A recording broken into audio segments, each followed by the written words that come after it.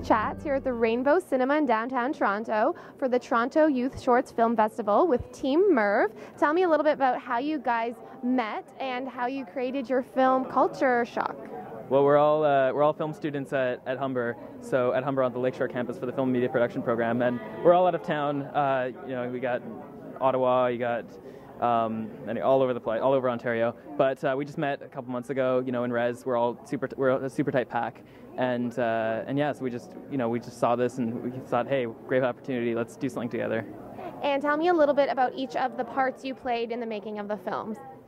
Um, I think we equally did a lot of the work, especially because of time limit. Uh, so we had to, you know, sometimes some of us would take a break and others would take on the role. So I, it's kind of hard to put us into different categories for what we did. I think we all equally worked on it. What were some of the challenges in making a film in 24 hours? Uh, the lack of sleep, pretty much. That was probably the biggest issue. And uh, driving in the snow. Because we kind of had a blizzard uh, during the day, so it was kind of hard to get around, but. And the you know, parking ninjas. And the, par- oh, The right. parking ninjas. Um, we ended up getting two parking tickets actually. three seconds. We, left Yeah. the car for, we left the car for like three seconds, Yeah. and then and then they like they rappel from like the rooftops and give you a ticket that's th- for thirty bucks for going like two feet away from your car. It's it's awful. And did the audience respond how you expected them to? Um, I don't, I I really didn't know what to expect. Like, I didn't know what the audience would expect. Uh, I think the judges got the reaction that we wanted. Uh, What about you guys?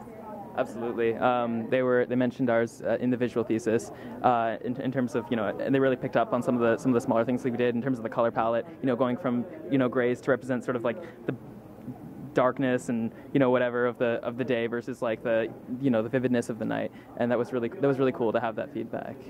And are you guys going to continue making films as a group? Oh yeah, definitely.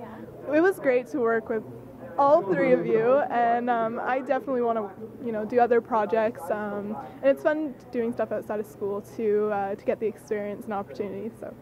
And is there a place where we can check out more of your work online? Coming soon, maybe? Yes, for sure. Coming soon, yeah. Not yet. Awesome. Great. Well, thank you so much, guys. Congratulations and enjoy the rest of the festival. Thank you. Thank you. I'm Katie Uhlmann reporting for Katie Chats here at the Toronto Youth Shorts Film Festival in downtown Toronto.